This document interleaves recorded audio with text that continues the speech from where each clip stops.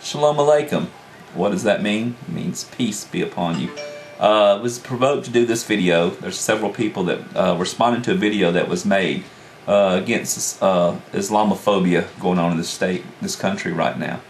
I had the pleasure earlier of going to Home Depot today to buy stuff we needed for a uh, goat pen we're building because I won't go to Lowe's no more because of their stupidity of dropping their sponsorship on the show American uh, Muslim.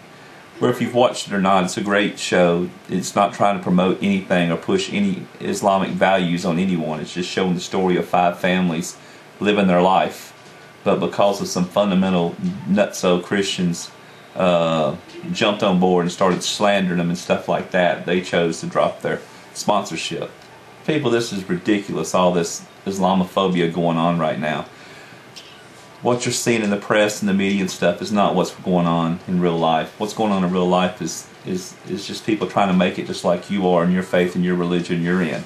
Islam is a peaceful religion. It's a religion of peace. Uh, you know, I don't know what the fear is. I guess uh, a friend of mine, uh, Rabbi John, we talk all the time, and Islam is where Christianity was about a thousand years ago. Remember, it's still a new religion, basically. But the true tenets of the Quran is to love our neighbors, to do right, to bring peace to this world, and to be a positive influence. So, Shalom Aleichem to the haters and to the lovers. Shalom.